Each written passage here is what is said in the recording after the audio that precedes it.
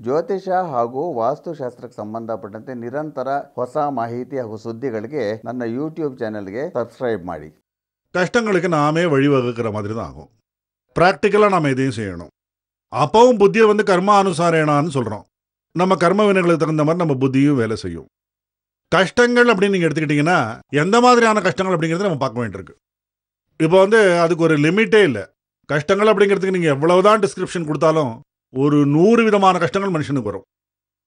இப்போ சாப்பாடு சாப்பிட்ற விஷயத்தில் சில கஷ்டங்கள் எடுத்துக்கலாம். எத்தனையோ பேருக்கு என்ன ஆகுதுன்னா நான் எத்தனையோ கேஸுகளில் பார்த்துருக்கேன். ஏதோ யாருக்கோ என்னவோ பிரச்சனைக்கு வந்து மூக்கில் அந்த நுகரும் சக்தியே போயிடுச்சு அவருக்கு. சாப்பாட்டுக்கு மேலே நமக்கு ஒரு ஈடுபாடு கொடுக்குறதே மூக்கில் அந்த உணவுடைய அந்த ஃப்ளேவர் வரும்பொழுது தான் அப்புறமா இன்னும் சிலருக்கு வந்து என்ன ஆகுது அப்படின்னா சாப்பிடும்பொழுது நம்மளுக்கு ஒரு சில துர்நாற்றம் வீசலாம். ஏதோ பேட் ஸ்மெல் வர மாதிரி இருக்கும். ஏன்னோ அப்படிப்பட்ட கேஸுகள் நிறைய வருது எனக்கு.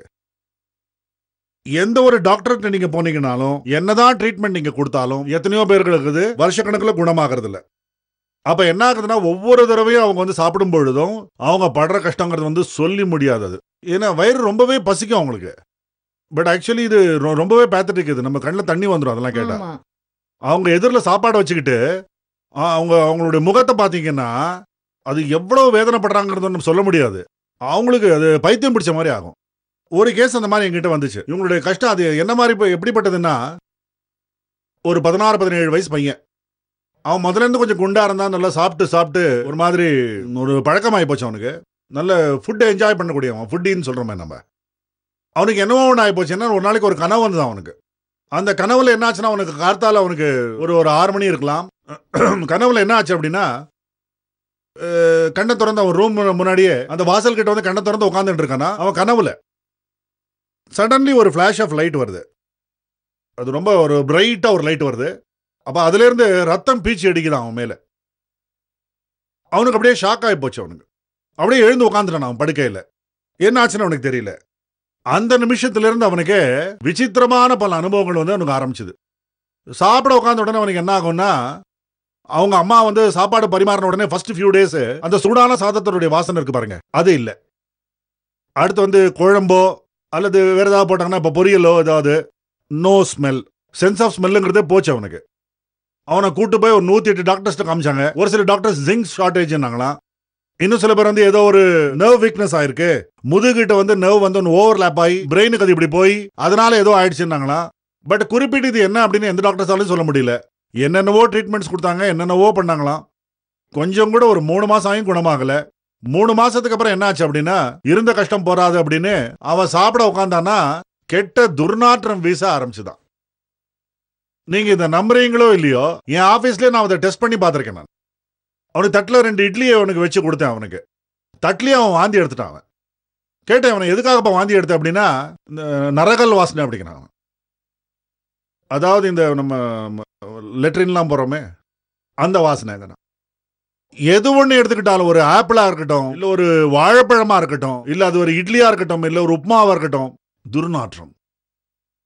எவ்வளோ கஷ்டப்பட்டிருக்கணும் நீங்கள் பாருங்கள் இன்னியோடு இது நடந்து ஏழு வருஷமாச்சு.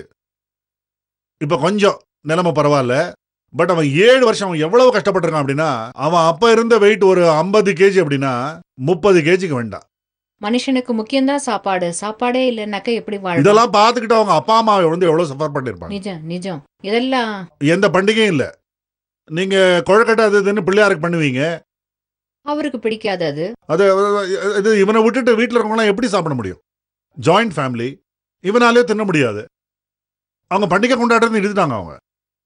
அப்புறம் ஒருத்தர் மூஞ்சியும் பார்த்தீங்கன்னா இவ்வளவு கண்ணில் தண்ணி வந்துடும் இது ஒரு கஷ்டமாச்சா? ரெண்டாவது கஷ்டம் என்னன்னா ஒரு அப்பா அம்மா வந்து ப- ரொம்ப ஓவர் டிசிப்ளின்டு அந்த பையன் வந்து இந்த அளவுக்கு அவன் மார்க்ஸ் வாங்கணும் இவ்வளோ வந்து வாங்கி ஆகணும் அப்படின்னு. அவன் எண்பது எண்பத்தஞ்சுன்னு மார்க் வாங்கிட்டு இருந்தான். பட் அவங்க அம்மா வந்து ரொம்பவே ஸ்ட்ரிக்ட் அவங்க. பக்கத்து வீட்டு பையன் தொண்ணூறு மார்க் வாங்குறான் நீ எதுக்கு எண்பத்தஞ்சு வாங்குற அப்படின்னு. அந்த பையனை போட்டு மிரட்டி அடிச்சு அடிச்சு அடிச்சு எப்போலேருந்து? சிக்ஸ்த்து ஸ்டாண்டர்ட்லேருந்து ஃபைனல் இயர் பிஇ வரைக்கும். அம்மா போட்டு அடிச்சிருக்கான் அந்த பையனை. அவன் எங்கிட்ட வந்து அதை சொல்லி எழுதான் சொல்லும் போதே கண்ணில் தண்ணி. இது என்ன சார் இது கஷ்டம் இது? நான் எங்கேயாவது ஓடி போயிட்டேன் எங்கேயாவது? நான் சூசைட் பண்ணிக்கிறேன் சார் அப்படின்னா. இந்த பசங்க விஷயத்தில் ஒரு எக்ஸாம்பிள் இந்த மாதிரி கஷ்டம்லாம் இன்னும் கல்யாணம் ஆனதுக்கப்புறம் இந்த ஜாயிண்ட் ஃபேமிலிஸை போய் சேர்றாங்க பாருங்க மருமகள் அவங்களுக்கு வந்து ஒரு விதமான ஒரு கஷ்டம். என்ன ஆகுதுன்னா அந்த வீட்டுக்குன்னு ஒரு சில கட்டுப்பாடுகள் இருக்கும். அப்புறம் இந்த காலத்து பெண்களுக்கு வந்து எக்கச்சக்கமான ரூல்ஸ் அண்ட் ரெகுலேஷன்ஸ் எல்லாம் போட்டிங்கன்னா அவங்களுக்கு சரிப்பட்டு வராது. நீங்கள் இப்படி தான் ட்ரெஸ் பண்ணிக்கணும் இப்படி தான் நீங்கள் வந்து நின்றுக்கணும் இப்படி தான் ஒரு பொண்ணு வந்து ஒரு வீடு கல்யாணம் ஆகி போனால் அவள் வந்து அப்போ வந்து ஷி வாஸ் ஒர்க்கிங் ஏதோ ஒரு மல்டிநேஷனல் கம்பெனியில் அவன் வந்து ஓவர் சம்பிரதாயம் அவங்களாம் அவங்க சொன்னாங்களா இந்த மாதிரி நீ வந்து இந்த இந்த பேண்ட் கிட்டலாம் போட்டக்கூடாது புடவை கட்டிக்கணும் அப்படின்னா அவளும் சரின்னு வந்து புடவை கட்டின்றாலாம் அப்புறமா வந்து வேலைக்கு போகும்போது மட்டும் அவர்களுக்கு அங்கே ஒரு யூனிஃபார்ம்னு ஒன்று இருக்குது அப்போ ஒரு மாதிரி பிளாக் சூட் போட்டுப்பாங்க பாருங்க. ஷி வாஸ் அன் எக்ஸிக்யூட்டிவ் அங்கே. அந்த மாதிரி தான் போனவ. அதுக்கு அவங்க இந்த மாதிரிலாம் போகக்கூடாதுன்னாங்களாம். அதுக்கு அவ நான் வந்து ரொம்பவே நான் கஷ்டப்பட்டு நான் இந்த வேலையில் சேர்ந்திருக்கேன். நான் என் மெரிட்டில் இந்த பொசிஷனுக்கு வந்திருக்கேன். இந்த வேலையை விடுறதுக்கு எனக்கு வந்து இஷ்டம் இல்லை ஏன்னா ஒரு பக்கம் பார்த்தா அது வந்து இந்த மானிட்டரி அதாவது அதில் வந்து வர வர சம்பளம். ரெண்டாவது என்னென்னா எனக்கு வந்து ஒரு ஒரு சைக்கலாஜிக்கல் சாட்டிஸ்ஃபேக்ஷன் என் படிப்புக்கு நல்ல ஒரு மதிப்பு கொடுக்குறாங்களே அப்படின்னு. அதனால என்ன அது வந்து அது விட முடியாதுன்னாங்களா? இவங்க கேட்காம ஒரு பதினஞ்சு நாள் அவளை வேலைக்கு அனுப்பல. பதினாறாவது நாள் இவங்க வற்புறுத்தலுக்காக வந்து புடவை கட்டிட்டு போனா. ஆஃபீஸில் என்ன ஆச்சோ அவளுக்கு வந்து வேலை போயிடுச்சு. மூணு வருஷம் அவளுக்கு வேலை கிடைக்கல. தினந்தோறும் அவள் காலையில் எழுந்தோடனே அவன் மாமியார் வந்து இந்த மாதிரி நீ பாத்திரத்திலலாம் கழுவு. போய் அந்த சுவாமி விளக்கு ஏத்து வாசல போய் கோலம் போடு அப்படின்னு அந்த- காலத்து ரூல்ஸ் எல்லாம் போட ஆரம்பிச்சாங்களாம் மூணு வருஷம் அவ வந்து she use to write mail to me sir இந்த மாதிரிலாம் இருக்கு எனக்கு. நான் இங்கே இருக்கட்டுமா? இல்லை நான் போயிட்டுமா? அப்புறம் புருஷன்கிட்ட இதை பத்திலாம் சொன்னா அவனால வந்து கேட்கல. செய்ய முடியல. You will have to take care of your cell அதுக்கப்புறமா இது போறாதுன்னு அவங்க வந்து மாமனார் மாமியார் ரெண்டு பேரும் ராத்திரி எட்டு மணி அப்புறம் என் காலை அமுக்கி விடு. காலை மசாஜ் பண்ணி விடு அப்படின்னு. எந்த காலத்துல இருக்காங்களோ இன்னும். அவங்க ரெண்டு பேரும் நல்லா ஆரோக்கியமா தான் இருக்காங்களா அவங்க? அப்படி மூணு வருஷம் வந்து கஷ்டப்பட்டா இல்லையா? அவளால அதை வந்து பொறுக்க முடியாம ஃபைனலி அவ எங்கேயோ புறப்பட்டு போயிட்டா இது வரைக்கும் திரும்பி வரல அவ. அது பேரண்ட்ஸ்க்கும் தெரியல இவங்களுக்கும் தெரியல. இன்னும் ஒரு சில கேஸ்கள்ல அம்மாக்களுக்கு சில கஷ்டம். இந்த குழந்தைய வளர்க்குறாங்க பாருங்க தாய்மார்கள். இப்போ வந்து ஒரு குழந்தை பிறந்துருச்சுன்னா உடனே சந்தோஷம். ஆண் குழந்தை பிறந்துருச்சு இனிமே அவன் தான் நம்மளை பார்த்துக்க போறான் அப்படின்னு. ஆனா இங்க ஒரு கேஸ்ல என்னாச்சு அப்படின்னா இது என்னுடைய நாற்பது வருஷம் அனுபவத்தில் நான் பார்த்த கேஸ்கள் நான் உங்கள்கிட்ட சொல்லிக்கிட்டு இருக்கேன். ஆயிரத்தி தொள்ளாயிரத்தி எழுபத்தி ஏழாம் வருஷத்துலேருந்து இந்த மாதிரி கேஸுகளில் என்ன ஆகுது அப்படின்னா அம்மா வந்து குழந்தைய வந்து ரொம்ப அன்போட வந்து வளர்ப்பாவ. அப்புறம் அவளுக்கு ஒரு ஆசை என் பையன் வந்து டாக்டர் ஆகணும் வந்து மெடிக்கல் படிக்கணும் அப்படின்னுலாம். அவனோ படித்தான் நல்லா தான் படித்தான் பாவம் அவன். நல்லா தான் வளர்த்தாங்க. அப்புறமா வந்து யூகேக்கு போய் எம்எஸ் பண்ணான் அவன் மாஸ்டர் ஆஃப் சர்ஜரி அப்புறமா அவனுக்கு வந்து ஸ்காலர்ஷிப்பில் வந்து எல்லாம் கிடச்சிது எல்லாம் நடந்தது. அப்புறம் வந்து அவங்க அப்பா அம்மா வந்து ஒரு தடவை என்னை பார்க்க வந்திருந்தாங்க. அவன் யூகேல இருந்த பொழுது. அவன் கல்யாணத்தை பத்தி நான் கொஞ்சம் தெரிஞ்சுக்கணும். தயவுசெய்து உங்க கைடன்ஸ் வேணும்னாங்க. அதை பத்தி நான் என்னெல்லாம் சொல்லணுமோ அதெல்லாம் நான் சொன்னேன். அப்புறம் இன்னொரு விஷயத்தையும் நான் வந்து சொன்னேன். உங்க உங்களுடைய ஜாதக பிரகாரம் நீங்க உங்க பையன் கல்யாணத்தை பத்தி அதிகமாக நீங்க கவலைப்படாதீங்க. எதுக்குன்னா உங்க வார்த்தையை அவன் வந்து கேட்க போறது இல்ல ஏற்கனவே அவன் மனசுல யாரோ ஒருத்தர் இருக்காங்க. விட்டுடுங்க நீங்க ஃப்ரீயா இப்ப காலம் வந்து ரொம்ப மாறி போச்சு அப்படின்னு நான் சொன்னேன். அவங்க வந்து இந்த கேஸ்ட் விஷயத்துல ரொம்பவே இதா இருந்தாங்க. இது என்னன்னா அதே கேஸ்ட்டு அதில் ஒரு சின்ன சப்டிவிஷன் இப்போ நீங்கள் வந்து இப்போ ஐயர் நீங்கள் எடுத்துக்கிட்டிங்கன்னா அதுலேயும் வந்து ஒரு ரெண்டு மூணு சப்டிவிஷன்ஸ் இருக்கும் அதில். அவங்க நம்ம விட வந்து கொஞ்சம் குறைச்சல் அப்படின்னு. அதனால நாங்கள் வந்து அவன் அம்மாட்ட சொன்னேன் பாருங்கள் இதெல்லாம் நீங்கள் வந்து விட்டுருங்க. அட்லீஸ்ட் இந்த அளவுக்கு செலக்ட் பண்ணுறக்கான்னு நீங்கள் கொஞ்சம் சந்தோஷப்படுங்க நீங்கள் அப்புறமா என்னாச்சு அப்படின்னா அந்த அம்மா வந்து எங்கிட்ட வந்து ஒரு கேள்வி கேட்டாங்க. எங்கள் மருமகன் என்ன நல்லா பார்த்துப்பாளா வயசான அப்புறம்? அப்படின்னு. நான் சொன்னேன் அதை மட்டும் நீங்கள் எக்ஸ்பெக்ட் பண்ணாதீங்க. ஏன்னா காலம் இப்போ வந்து ரொம்பவே மாறி போச்சு உங்கள் மகளும் மருமகளும் இப்போ எங்கே இருக்காங்களோ அங்கே அவங்க பாட்டுக்கு அவங்க சந்தோஷமாக இருக்கட்டும். விட்டுடுங்க நீங்கள் அவங்கள. அப்புறம் உங்களுடைய மருமகளும் வந்து ஃபாரின் எஜுகேட்டட் வீட்டில் உட்காந்து கோலம் போட்டுன்றனா அவள் கண்டிப்பாக போட மாட்டாள் நீங்களும் அவளை வந்து நீங்கள் ஃபோர்ஸ் பண்ண முடியாது. அதனால நீங்கள் அந்த ஹோப்ஸை நீங்கள் கொஞ்சம் விட்டுருங்க. கடவுள் தியானம் பண்ணுங்க அப்படின்னு சொன்னால் அதெல்லாம் எப்படி விட்டுற முடியும் சார்? நாங்கள் அவ்வளோ கஷ்டப்பட்டு பையனை வளர்த்து அவனை படிக்க வச்சு ஃபாரின்லாம் அமைச்சிருக்கோம் நாங்கள் நான் சொன்னேன் அவங்களுக்கு பாருங்க நானும் ஒரு அப்பாவா தான் உங்களுக்கு சொல்லிட்டு இருக்கேன். எத்தனையோ கேசஸ் நான் பார்த்திருக்கேன். எந்த எக்ஸ்பெக்டேஷன்ஸ் நீங்க வச்சுக்காதீங்க. காலம் இப்போ வந்து ரொம்பவே மாறி போச்சு உங்களால முடிஞ்ச வரைக்கும் பண்ணுங்க. அப்புறமா நீங்க விட்டுருங்க அவங்கள இல்ல நாங்க அப்படி விட முடியாது அப்படின்னு. அப்புறம் உங்க தலையெழுது அப்படின்னு கடைசியில அவங்க பையனுக்கு கல்யாணம் பண்ணி வச்சாங்க. அதே பொண்ணை கல்யாணம் பண்ணி வச்சாங்க. ரொம்ப விமர்சையா பேலஸ் கிரவுண்ட்ஸ்ல கல்யாணம் பண்ணி வச்சாங்க. அது எவ்வளவோ ஒரு ரெண்டு மூணு கோடி செலவு பண்ணி மருமகளுக்கு நிறைய நகையெல்லாம் போட்டு விட்டு அப்புறம் அந்த நகையெல்லாம் இவங்களே திரும்பி வாங்கிட்டாங்க. அது வேற விஷயம். அப்படியெல்லாம் அவங்க பண்ணாங்க. எல்லாரும் அப்புறம் ஒரு ஆறு மாசம் மகனும் மருமகளும் வந்து அங்கேயே இருந்தாங்க. பெங்களூர்லயே. எல்லாம் வந்து நார்மலா நடந்து போயிட்டு இருந்தது. இடையிடையே இந்த அம்மாவுடைய கொஞ்சம் தொந்தரவு கொஞ்சம் அதிகமா போச்சு. தொந்தரவுனா அவங்களுடைய எக்ஸ்பெக்டேஷன் அவருடைய ஒரு ட்ரெடிஷனை அவங்க ஃபாலோ பண்ணுவாங்க. எதோ சொல்லிட்டு இருந்தாங்க. அது அவங்க உட்காந்துருக்கும் பொழுது அதாவது மருமக உட்காந்துருக்கும் பொழுது நான் வந்து எதிர்க்க போனேன்னா அவன் எழுந்து நிக்க மாட்டேங்கிறா அவ. எனக்கு மதிப்பே கொடுக்க மாட்டேங்கிறா அவ. அப்புறம் அந்த மாமனார் என்ன சொல்றாருன்னா கார்த்தால எனக்கு தான் ஃபர்ஸ்ட் காஃபி கொடுக்கணும் கொடுக்கறது இல்ல அவங்க குடிச்சிடுறாங்களா? அப்புறம் கார்த்தால எழுந்து சாமி நமஸ்காரம் பண்றது இல்ல அதுக்கு பையன் என்ன சொன்னானா இந்த அளவுக்கு வந்து அட்ஜஸ்ட் பண்ணி போயிட்டு இருக்கா இல்லையா? கொஞ்சம் சந்தோஷமாவே இருங்க நீங்க. இதுக்கு மேல நீங்க எதுவும் எக்ஸ்பெக்ட் பண்ணாதீங்க. என் ஒய்ஃப் கிட்ட நான் வந்து அதிகமாலாம் சொல்ல முடியாது. ஹைலி எஜுகேட்டட் சம்பாதிக்கிறா வேற. அவ சம்பாதிக்கிறதுல 50% பர்சன்ட் வீட்டு செலவுக்காகவும் கொடுக்குறா. இதெல்லாம் பார்த்து நீங்க ஓரளவுக்கு சந்தோஷப்படணும் தானே நீங்க. திருப்திப்படுங்க அப்படிங்கிறா பட் என்ன பண்றது? ஒரு சிலருக்கு ஏதாவது ஒன்று ஆற வரைக்கும் அவங்களுக்கு வந்து புத்தியே வராது அவங்களுக்கு. கண்டிப்பா. கடைசியில் என்ன போச்சு அப்படின்னா ரொம்பவே வேதனைப்பட்டு அந்த பையன் ஒரு நாளைக்கு அவன் அம்மாட்ட சொல்லிட்டானா எங்களால் இனிமேல் இந்த வீட்டில் இருக்க முடியாது. நான் வந்து நான் புறப்பட போறேன். தனி வீடு பார்க்குறேன் நீங்க என்னவாவது பண்ணிக்கோங்க அப்படின்னு. தனி வீடு பார்த்துட்டு அவன் போயிட்டான். அப்ப இவங்களுக்கு வந்து ஹார்ட் அட்டாக் வந்தது. அம்மாக்கு. அதாவது அவ்வளவு ஓவர் அட்டாச்மெண்ட் பையன்கிட்ட. அதனால ஹார்ட் அட்டாக் வந்துருச்சு. ஹாஸ்பிட்டலுக்கு போய் அட்மிட் ஆனாங்க. ஸ்டென்ட்டோ எதுவோ போட்டாங்க அவங்களுக்கு. அங்கேருந்து திரும்பி வந்தாங்க வீட்டுக்கு. இன்னைக்கு வரைக்கும் அந்த அம்மா வந்து ஒரு நாளும் சரியா சாப்பிடுறது இல்ல படுக்கை விட்டு அவங்க வந்து எழுந்திருக்கல. பிகாஸ் பையன் வந்து எப்போ என் கூடவே இருக்கணும்? பேராசைப்பட்டுக்கிட்டு என் பையன் என் கூடவே இருக்கணும்? என் மருமகன் என்ன பாத்துக்கணும் அது வரைக்கும் நான் படுக்கை விட்டு எழுந்திருக்க மாட்டேன் அப்படின்னு. அவ கணவருக்கு இது ஒரு மாதிரி நரக வேதனையா போச்சு அவருக்கு. இந்த பக்கத்துல மகனும் எங்கிட்ட வந்து அதை பத்தி சொல்லி அழுதான். எங்க அம்மா இதெல்லாம் வந்து சரியா புரிஞ்சுக்கவே மாட்டேங்கிறாங்க சார் அப்படின்னு எங்கிட்ட சொல்லி அழுறான் எப்படி அட்ஜஸ்ட் பண்றது அப்படின்னு. இப்போ வந்து மகனுக்கும் கஷ்டம். அந்த அம்மா அம்மாவுக்கும் கஷ்டம். இப்படி இப்படி விசித்திரமான கஷ்டங்கள் இருக்கு பாருங்க. இதுக்கு யார் பொறுப்புங்கிறது வந்து நம்ம பார்க்கணும். அதுக்கு ஜாதகத்தில் ஒரு சில காம்பினேஷன்ஸ் இருக்கும். அப்புறம் அந்த காம்பினேஷன்ஸ் பற்றியும் அப்புறம் வேறு வேறு விதமான கஷ்டங்கள்லாம் எப்படி வருது? இன்னும் சிலருக்கு வந்து இயல்பாகவே சில கஷ்டங்கள் வரும். அதை பற்றியும் நான் சில வி- விவரங்கள்லாம் கொடுக்க விரும்புகிறேன் நான். அப்புறம் எந்த காம்பினேஷன்ஸ் தான் இந்த மாதிரி கஷ்டங்கள்லாம் வருது? எவ்வளவு வருஷம் இந்த கஷ்டங்கள்லாம் இருக்கும்? அதுலேருந்து நீங்கள் வந்து விடுபடுறதுக்கு ஏதாவது ஒரு வழி இருக்கா? மார்க்கம் உண்டா அப்படின்னு அதை பற்றி நான் கொஞ்சம் விவரங்களை உங்கள்கிட்ட நான் சொல்கிறேன் மாயை நம்மள ஆக்கிரமிச்சிடுச்சா? அல்லது நாமே மாயையில இருக்கோமா? தெரியாது. கவலை அப்படிங்கிறது மனுஷனை சாவு வரைக்கும் அழைச்சிட்டு போயிடுங்கிற வார்த்தை சத்தியம். ஆனா யாருக்கு எந்த சமயத்துல எப்படிப்பட்ட கஷ்டங்கள் வருங்கிறது அந்த கடவுளுக்கு மட்டும்தான் தெரியும். குருகள் சொன்ன மாதிரி எந்தெந்த கஷ்டங்கள் வரும்போது எப்படி அதை எதிர்கொள்ளணும் எந்த விதமான பரிகாரங்களை பண்ணிக்கணும் அப்படிங்கிற பற்றிய தகவல்களை தெரிஞ்சுக்கலாம். ஒரு சிறிய இடைவெளிக்கு பிறகு.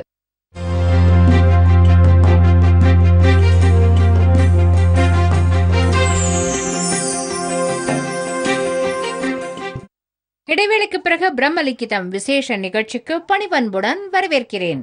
குருகளை இவ்வளவு நேரமா நீங்க சொன்னீங்க. இந்த பிரச்சனைகளை எல்லாம் கேட்டுக்கிட்டாக்க இது நமக்கு நாமவே தந்து கொண்ட பிரச்சனைகள். ஒரு சில. இன்னும் சிலது நம்முடைய தலைவிதி. நம்ம பிறக்கத்துக்கு முன்னாடி கடவுள் நம்மளை கேட்பாலாம் உனக்கு என்ன வேணும் அப்படின்னு. நமக்கு என்ன வேண்டியிருக்குமோ அதை மாத்திரம்தான் கொடுப்பான் அப்படிங்கறதெல்லாம் நம்ம தாத்தா பாட்டி கிட்ட கதைகள் மூலமா கேட்டிருக்கோம். ஆனா அது நிஜம் கண்டிப்பா இல்ல. நம்மளுடைய சமாதானத்துக்கு அதை நம்ம சொல்லிக்கிறோம். அவ்வளவுதான். உண்மை என்ன குருகளே? பாருங்க இங்கே கஷ்டங்களை பற்றி நம்ம பேசும்பொழுது நான் ஏற்கனவே சொன்ன மாதிரி நூறு விதமான கஷ்டங்கள் இருக்குது இதுக்கெல்லாம் வந்து நம்ம இந்த ஜோதிடத்தில் நம்மளுடைய ஜாதகத்தில் வந்து பல காம்பினேஷன்ஸ் எல்லாம் இருக்குது அதனால வருது. ஜென்ரல் நாம் வந்து சொன்னால் ஆறாவது இடம் எட்டாவது இடம் மற்றும் பன்னெண்டாம் இடத்தை நம்ம வந்து கெட்ட ஸ்தானங்கள்னு சொல்கிறோம் நமக்கு வந்து இப்போ இருக்கிற தசாதிபதி அல்லது சந்திரன் அல்லது லக்னாதிபதி கெட்ட ஸ்தானங்கள் இருந்தால் ஜென்ரலாக வந்து ஏதோ ஒரு பார்ட் ஆஃப் டைம் வந்து உங்களுக்கு இவ்வளோ வருஷம் உங்களுக்கு சில கஷ்டங்கள் இருக்கலாம். குறிப்பிட்ட அளவு அவங்களுக்கு இருக்கலாம். இப்போ வந்து இன்னொரு கேஸ் எப்படின்னா அது எந்த தப்பும் இல்லாமல் நடக்கக்கூடியது. இன்னொரு கப்பலுக்கு வந்து இப்போ வந்து அப்பாவுக்கு வந்து ஒரு அறுபத்தஞ்சு வயசு இருக்கலாம். அம்மாவுக்கு வந்து ஒரு அறுபது வயசு இருக்கலாம். பையனுக்கு வந்து ஒரு நாற்பது வயசு நாற்பத்தஞ்சு வயசு இருக்கலாம். அப்பாவுக்கு வந்து ஒரு பிஸ்னஸ் இருக்கு. ஏதோ ஒரு இண்டஸ்ட்ரியல் பிஸ்னஸ் மாதிரி அது. பண்ணிக்கிட்டு இருந்தாங்க. பையனுக்கு கல்யாணம் ஆயிருக்கு. பேர குழந்தையும் இருக்கு. அதுக்கு வந்து சுமார் ஒரு பன்னெண்டு பதிமூணு வயசு இருக்கலாம். எல்லாம் இருக்கு. இதுல ப்ராப்ளம் என்ன இருக்கு அப்படின்னா அந்த பையன் வேலைக்கு போறது இல்ல அப்பாவோட பிசினஸையும் பாத்துக்கிறது இல்ல எந்த வேலையும் செய்யறது இல்ல பிஏ வரைக்கும் படிச்சிருக்கான் பையன். ஆனா வந்து வேலை பார்க்கறது இல்ல அவன் செய்யற வேலை என்னன்னா காலையில எழுந்த உடனே தண்ணி அடிக்கிறது. ஐயோப்பா. ராத்திரி கண்ணு இப்படி சொருகி இழுத்து கீழே விழற வரைக்கும் தண்ணி அடிப்பான். நான் ஸ்டாப் அவனால் அதை விடவே முடியாது. பொண்டாட்டி பேச்சும் கேட்கறது இல்ல அம்மா பேச்சும் கேட்கறது இல்ல அப்பா சொல்லியும் கேட்கறது இல்ல அவங்க அம்மா வந்து என்ன சொல்கிறாங்க அப்படின்னா இதில் வந்து பாருங்க சார் இதில் வந்து என் பையனுக்கு வந்து கல்யாணம் ஆகி அது வந்து ஒரு பதி பதினஞ்சு வருஷம் ஆச்சு. பதினஞ்சு வருஷம் ஆச்சு. கல்யாணம் ஆன நாள்லேருந்து இதே இதுதான் அவனுக்கு.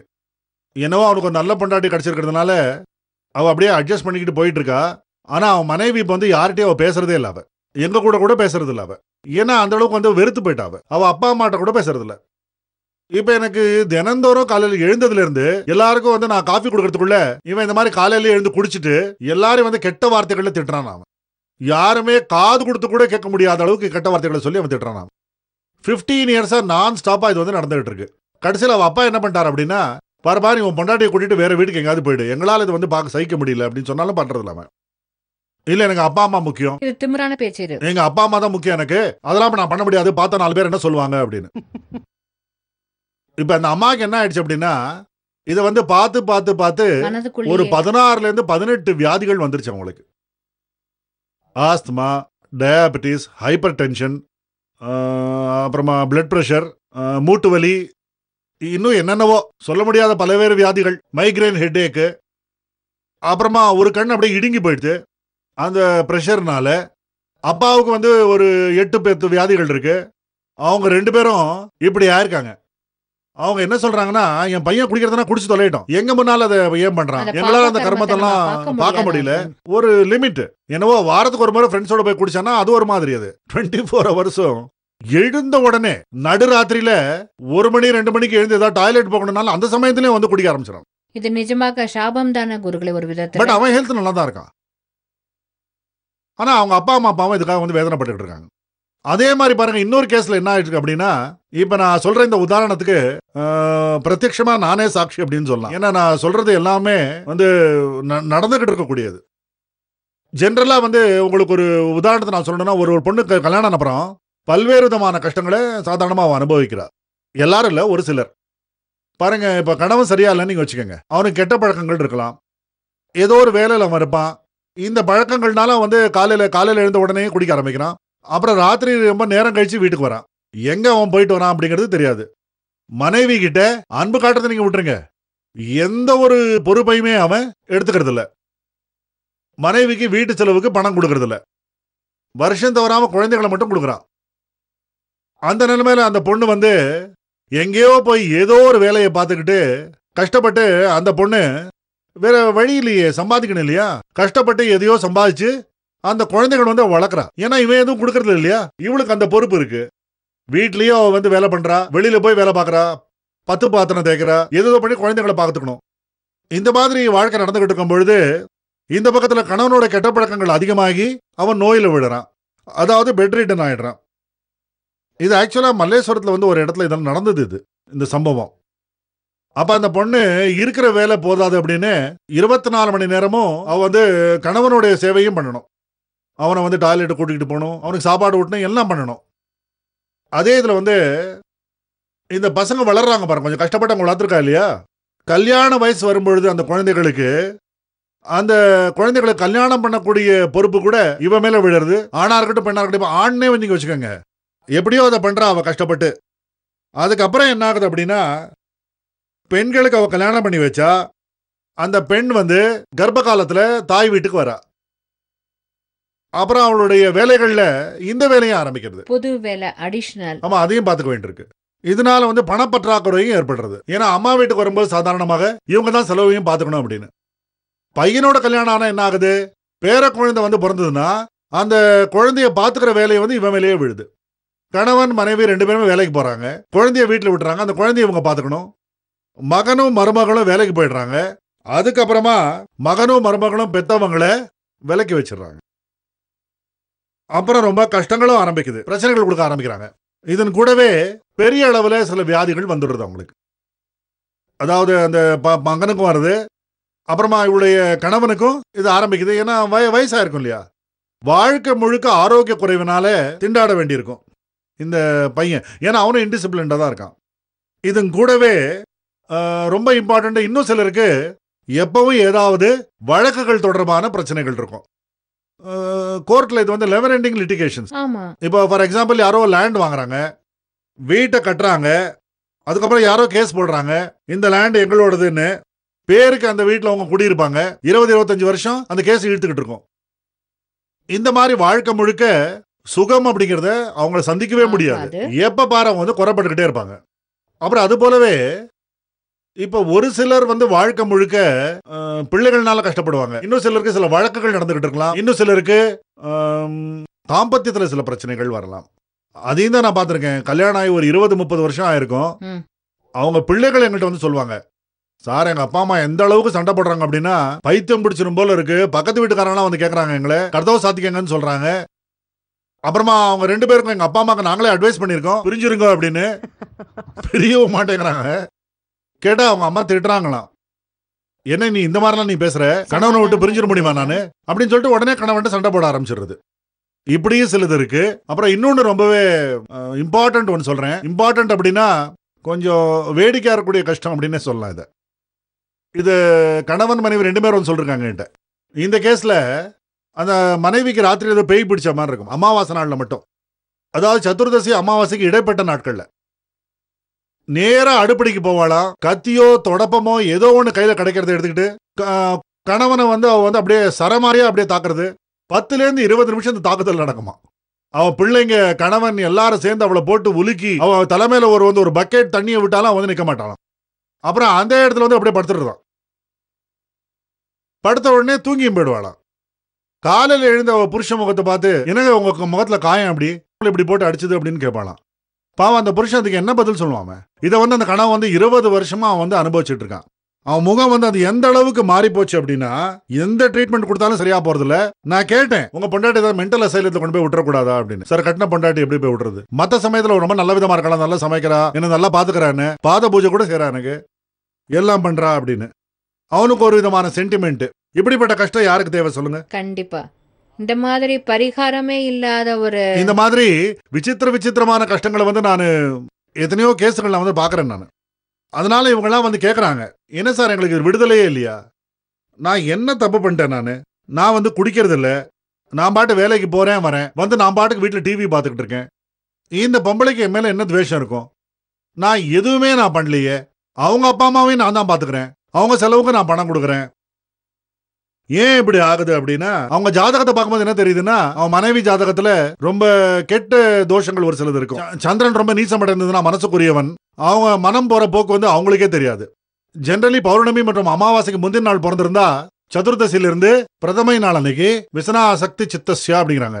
அதாவது வாழ்க்கை முழுக்க அவங்களும் கவலைப்பட்டுக்கிட்டு இருப்பாங்க அவங்களையும் வந்து கவலைப்படவே வச்சுக்கிட்டு இருப்பாங்க அப்படின்னு. அவங்களும் யோசிச்சுக்கிட்டே மத்தவங்களையும் யோசிக்க வச்சுட்டே இருப்பாங்க. இந்த ராகு தசையோட கடைசி நேரமாக இருந்தாலும் யாருக்காவது தசாபக்தி காலமா இருந்தா ராகுவும் கூட சந்திரன் இருந்த அந்த நேரத்தில் இந்த ஏழர் நாட்டு சனி விஷயம் நடந்துகிட்டு இருந்தா அவங்க என்ன பண்றாங்க அப்படின்னா அவங்களுக்கே அது புரியவே புரியாது. விசித்திரமாக இருக்கும் அவங்க நடவடிக்கைலாம் பட் ஒரு சிலருக்கு பாத்தீங்கன்னா இது உங்க லைஃப் முழுக்க இது. இருபது இருபத்தஞ்சு வருஷம் ஆனாலும் சில சமயம் கணவனால பிரச்சனைகள் ஏற்படும் சில சமயம் மனைவினால பிரச்சனை ஏற்படும்.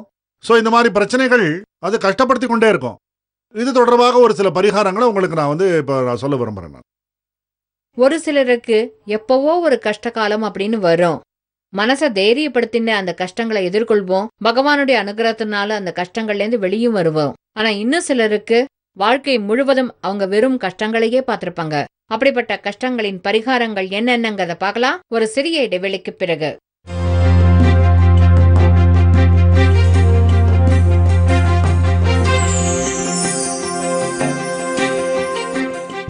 பிறகு மீண்டும் உங்கள் அனைவரையும் பிரம்மலிகிதம் விசேஷ நிகழ்ச்சிக்கு பணிவன்புடன் வரவேற்கிறேன்.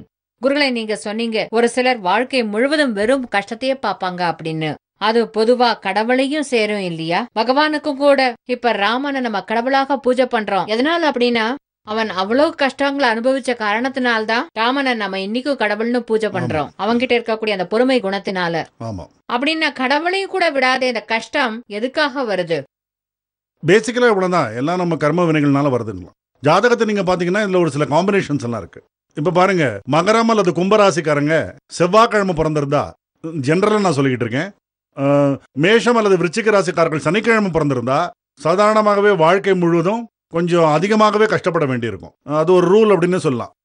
அதுக்கப்புறம் ஒத்தப்படையில் வந்து குழந்தைங்க வீட்டில் இருந்தாங்கன்னா அதாவது ஆட் நம்பர்ஸ் அதாவது யாருக்காவது மூணு அஞ்சு ஏழுன்னு குழந்தைங்க இருந்தால் அதில் வந்து நடுவில் பிறந்திருக்கூடியது அதாவது அந்த மூணு குழந்தைகளில் அந்த மூணு குழந்தைகள்ல ரெண்டாவது குழந்தை அஞ்சு குழந்தைகள்ல மூணாவது குழந்தை ஏழு குழந்தைகள்ல நாலாவது குழந்தை இப்படிப்பட்ட குழந்தைகள் ஜலதத்துவ ராசியில பிறந்திருந்தா அதாவது கடகம் விருச்சிகம் தனுசு ராசியில பிறந்திருந்தா அல்லது மீனம் மீனத்துல பிறந்திருந்தா இப்படிப்பட்ட குழந்தைகளுக்கும் இந்த மாதிரி சில விசித்திரமான சில தொந்தரவுகள் வாழ்க்கை முழுதும் இருக்கலாம் அவங்களுக்கு. அதனாலதான் நம்முடைய முன்னோர்கள் ஒரு சில லக்னங்களுக்கு வந்து ரொம்ப இம்பார்ட்டன்ஸ் கொடுத்துருக்காங்க. அதாவது வந்து கல்யாணம் ஆன அப்புறம் தம்பதிகள் ஒன்று சேர்றாங்க பாருங்க. அது ரொம்ப இம்பார்ட்டன்ட் பட் இப்ப அதெல்லாம் மறந்தே போயிருக்காங்க. அடுத்து நீங்க வந்து வாஸ்து எடுத்துக்கிட்டீங்கன்னா அதுவும் ரொம்ப முக்கியமானது. இதை நான் ரிசர்ச் பண்ணி பார்த்துருக்கிறது. யாருடைய வீட்டில் வந்து தலைவாசல் அதாவது மெயின் டோர் நம்ம சொல்றோமே வாயு மூலையில வடக்குல அதாவது நார்த் ஆஃப் நார்த் வெஸ்ட் இருந்தா அல்லது நைருதியில அதாவது குபேர மூலைன்னு சொல்றோமே அதுல வந்து தெற்குல சவுத் ஆஃப் சவுத் வெஸ்ட்ல மெயின் டோர் இருந்தா ஆக்னேயத்துல கிழக்குல இருந்தா ஈஸ்ட் ஆஃப் சவுத் ஈஸ்ட் அப்படிப்பட்ட வீடுகளுக்கு இரண்டு திசைகள்ல காம்பவுண்ட் இல்லாம இருந்தா. அங்க பிறக்கக்கூடிய குழந்தைகள் அல்லது அங்க பிறக்கக்கூடிய குழந்தைகள் எப்பவுமே கஷ்டப்பட்டுக்கிட்டு இருப்பாங்க அவங்க. காம்பவுண்ட் வந்து பைசாசம்னு சொல்லப்படுறது. அதனால முடிஞ்ச வரைக்கும் காம்பவுண்ட் கட்டி வச்சிருது பெட்டர் ஒரு சில வீடுகள் தெருவை விட கொஞ்சம் கீழே இருக்கும். தெரு லெவலை விட கொஞ்சம் ஒரு ஒன் ஃபுட் கீழே இருக்கும் அது சிலது. காமன் சென்ஸ் பிரகாரம் அது நல்லது தான் ஏன்னா மழை வந்தால் தண்ணி கீழே போய் இறங்கிடும். அப்படிப்பட்ட வீடுகளில் பிரம்மஸ்தானம். அதாவது வீட்டுடைய நடுப்பகுதி அதாவது கரெக்டாக centre point exact mid point நம்ம எதை சொல்றோமோ இன்னும் தாழ்வாக இருந்தா. டிப்ரெஷன் மாதிரி அங்கேயும் பார்த்தீங்கன்னா சுகங்கிறது கொஞ்சம் குறைச்சல் கஷ்டங்கள் கொஞ்சம் அதிகமாகவே இருக்கும். அந்த வீட்டில் இருக்கவங்களுக்கு சரியா அறிவு வேலை செய்யாது. விசித்திரமாலாம் கொஞ்சம் நடந்துப்பாங்க அவங்க. எந்த ஒரு வீட்டில் தேவ மூலையில் அதாவது நார்த் ஈஸ்ட் அதாவது ஈசான்யம் நம்ம சொல்றோமே காத்து மற்றும் வெளிச்சம் குறைவா இருக்கும் அதாவது ஜன்னலோ வாசலோ இல்லாத இடம். அப்படிப்பட்ட வீடுகளில் குபேர மூலையில சவுத் வெஸ்ட்ல அதிகமா வெளிச்சம் வந்ததுன்னா அதாவது ரிவர்ஸ் அதாவது இந்த வீட்டில் இருக்கவங்களுக்கு எப்பவுமே கஷ்டங்கள் கொஞ்சம் அதிகமாக தான் இருக்கும். அப்புறம் ஒரு சில வீடுகளில் நார்த் ஈஸ்டே இருக்காது அவங்களுக்கு. அதாவது இந்த ஈஸ்ட் வெஸ்ட்ல. ஒரு ஜெட் ஷேப் மாதிரி கார் பார்க்கிங்க கட் பண்ணிருப்பாங்க பாருங்க. அதுவும் வந்து இங்க கவுண்ட் ஆகுது. அதுக்கு பேருக்கு ஒரு தேவமூலைன்னு வச்சிருப்பாங்க அது. பட் தேவமூலை டோர் வந்து முன்னாடி இருக்கணும் அப்புறம் இன்னும் சில பேர் வீடு கட்டும்போது என்ன பண்ணுறாங்கன்னா சரியாக வந்து நடுவில் வாசல் வச்சிருவாங்க. சென்ட்ரல் அது வந்து கிழக்காக இருக்கட்டும் மேற்காட்டும் இருக்கட்டும் வடக்கா இருக்கட்டும் தெற்கா இருக்கட்டும் கரெக்டாக நடுவில் வந்து வாசல் வச்சிருவாங்க. அது எந்த ஒரு திசையில் இருந்தாலும் அது கண்டிப்பாகவே அது நல்லதல்ல. அதனால தான் மத்திய துவாரம் குலநாசனம்னு சொல்லியிருக்காங்க ஜென்ரலாக வந்து யார் வேணாலும் பார்க்கலாம். வீட்டுடைய நடுப்பகுதியில் வாசல் இருந்ததுன்னா அங்கே நிம்மதிங்கிறது கண்டிப்பாகவே இருக்காது. எப்பவுமே வந்து கஷ்டங்கள் இருக்கும். இன்னும் சில பேர் நைருதியில் அதாவது குபேரமலையில் ரூம் இருக்கும் பாருங்க. சில பேர் என்ன பண்ணுவாங்க இந்த வீட்டு மன சின்னதாக இருக்குது அப்படின்னு சவுத் வெஸ்ட் மாஸ்டர் பெட்ரூமை பெருசாக வைக்கணும் அப்படின்னு அந்த பக்கத்து வீட்டு செவத்துக்கு அது ஒட்டினாப்புல ஃபுல்லாக அப்படியே சுற்றி அவங்க கட்டிருப்பாங்க பாருங்க. அது கொஞ்சம் பெருசா இருக்கட்டும் அந்த பெட்ரூம் அப்படின்னு. அப்படிப்பட்ட வீடுகள்ல பிள்ளைகள்னால அப்பா அம்மாக்களுக்கு வாழ்க்கை முழுவதும் கஷ்டங்கள் வந்துகிட்டே இருக்கும் அது. ஒரு பக்கம் அது கார்ப்பரேஷன் ரூல்ஸுக்கு அகேன்ஸ்ட் அது வேற. அதோட அவங்க வீட்டோட ஒரு இது கூட நமக்கு ஒரு மாதிரி. இருக்கும். கண்டிப்பாவே அது இருக்கும். அப்புறம் இன்னொன்னு என்னன்னா அங்க ஏற்கனவே இருக்கக்கூடிய யாருக்குமே அவங்களுடைய புத்தி வந்து அவங்க கண்ட்ரோல்ல இருக்காது. அப்படி கட்டிட்டாங்கன்னா யாருமே வந்து ஒருத்தர் பேச்சு இன்னொருத்தர் கேட்க மாட்டாங்க. எவ பாரு சண்டை போட்டுக்கிட்டு இருப்பாங்க வாக்குவாதம் இருக்கும். ஒருத்தரை பார்த்தா இன்னொருத்தருக்கு ஆகாது. அந்த மாதிரி எல்லாம் இருக்கும். அப்பா அம்மா மகன் மகள் மருமகள் மருமகன் எல்லாருமே மனதளவில் பிரச்சனைகளுக்கு உள்ளாவாங்க. அந்த வீட்டில் பேஷன்ஸுங்கிறதே இருக்காது.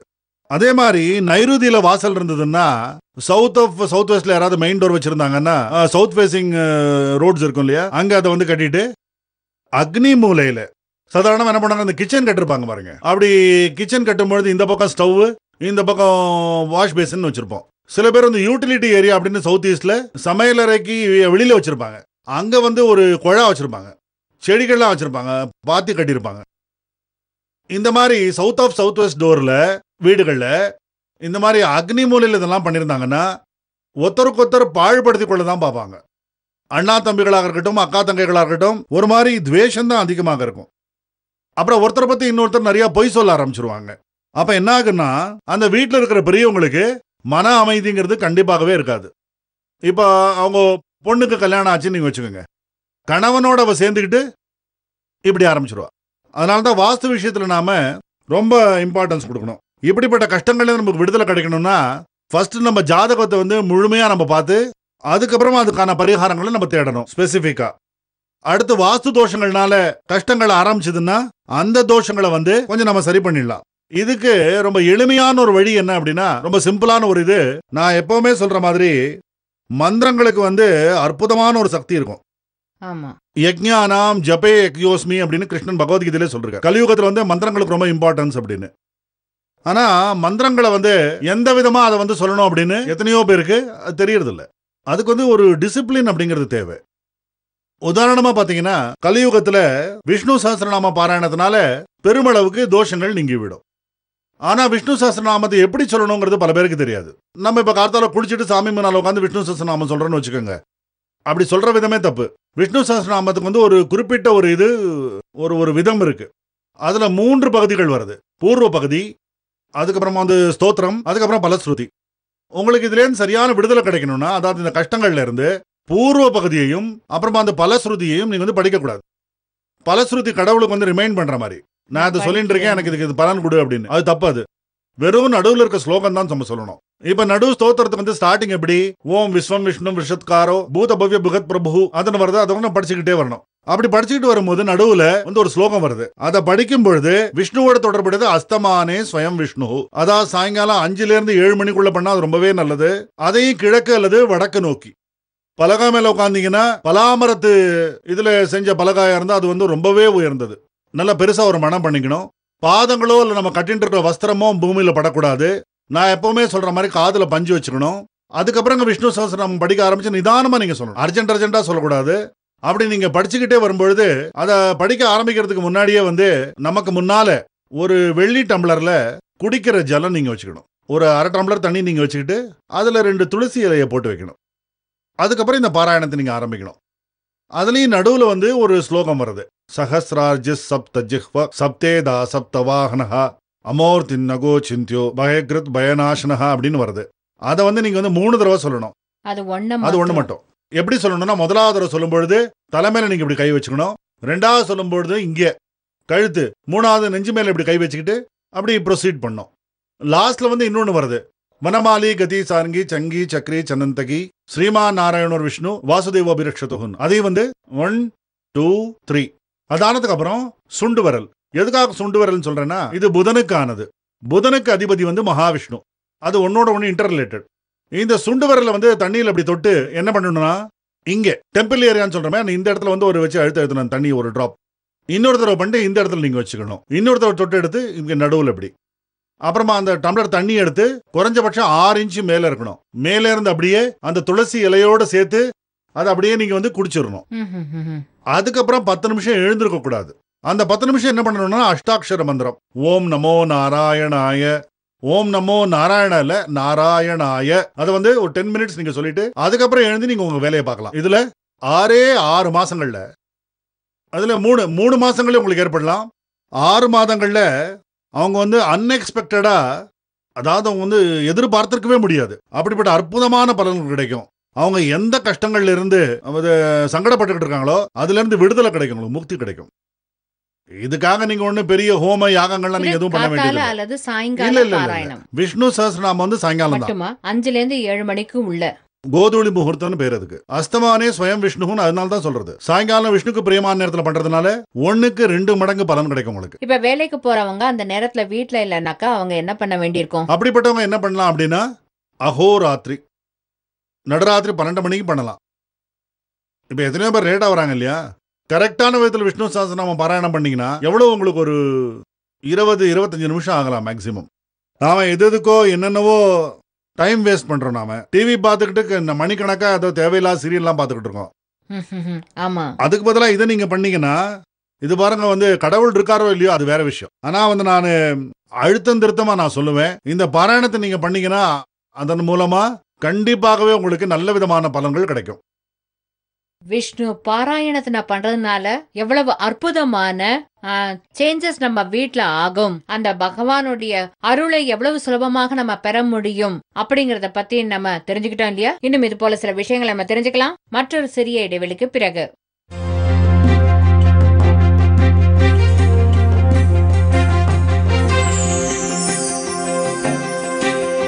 இடைவெளிக்கு பிறகு மீண்டும் ஒருமுறை நிகழ்ச்சிக்கு வரவேற்கிறோம். விஷ்ணு சகஸ்ர நாமத்தை பாராயணம் பண்ணுங்க. ரொம்ப நல்லதாகும்னு சொன்னாங்க. ஆனா அதுக்கும் ஒரு வழிமுறைகள் இருக்கு. அத அதே. முறையில தான் பண்ணணும் அப்படிங்கிற ஒரு அந்த விஷயத்த பத்தி சொன்னீங்க குருகளே. இன்னும் எந்த எந்த விதத்துல மனுஷன் கஷ்டங்கள்ல இருந்து வெளியில வரலாம்? பாருங்க முதலாவது நம்ம இந்த ஜாதகத்தை பார்க்கும் பொழுது அதுல வந்து எந்த ஒரு கிரக நிலையினால் நம்மளுக்கு பிரச்சனைகள் ஏற்படுது அப்படின்னு நம்ம முதல்ல பார்க்கணும். நான் எப்பவுமே சொல்ற மாதிரி கெட்ட ஸ்தானங்கள். ஆறாம் இடம் எட்டாம் இடம் பன்னெண்டாம் இடம் எப்படின்னு பார்க்கணும் நம்ம. உதாரணமா யாராவது வந்து மேஷ லக்னத்துல யாராவது பிறந்தாங்கன்னா ஆறாவது இடம் வந்து அஹ், கன்னியா இருக்கும். லக்னாதிபதி செவ்வாய் ஆறாம் இடத்துல கன்னியில இருந்தா அது என்ன ஆகுது அப்படின்னா கஷ்டங்கள் அவங்களுக்கு எதுக்காக வருது அப்படின்னா அவங்களுடைய பேச்சுல அவங்களுக்கு வந்து ஒரு கண்ட்ரோல் இருக்காது. ம்ஹும். பேச்சுகள்னாலே வழக்குகள் வழக்குகள். ஏற்படும். ஆறாவது இடம் வந்து ஹவுஸ் ஆஃப் லிட்டிகேஷன் அப்படின்னு சொல்லலாம். ஹவுஸ் ஆஃப் டிசீஸ் அப்படின்னு சொல்றாங்க. இங்க மேஷ லக்னத்துல என்ன ஆகுதுன்னா செவ்வாய் வந்து லக்னாதிபதியாக இருந்தாலும் அஷ்டமாதிபதியாகவும் இருக்கான். சோ அஷ்டமாதிபதியாக அவன் புதன் வீட்டுல இருந்தானா? அந்த ஆறாவது வீட்டுல அப்படிப்பட்டவங்களுக்கு இந்த செவ்வாய் தசையோ அல்லது புத தசையோ உங்களுக்கு வரும்பொழுது அந்த தசை முடிகிற வரைக்கும் அவங்களுக்கு வழக்கு தொல்லைகள் இருக்கும் ஆரோக்கிய பிரச்சனைகள் இருக்கும். அப்புறம் எல்லாரும் எதிரிகள் தான். அவங்க என்னதான் பண்ணாலும் எவ்வளவு நல்ல விதமா நடந்திருந்தாலும் அவங்களுக்கு எதிர்ப்புகள் இருக்கும். அப்ப என்ன பண்றதா புதனோட சம்பந்தப்பட்ட புத தசை நடக்கும் பொழுது அப்ப அவங்க என்ன பண்ணணும் அப்படின்னா நான் சொன்ன மாதிரி விஷ்ணு சஹஸ்ரநாமம் சொல்லணும்.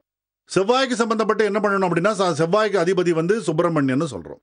ஸோ முருகப்பெருமானை நீங்கள் வழிபடணும்.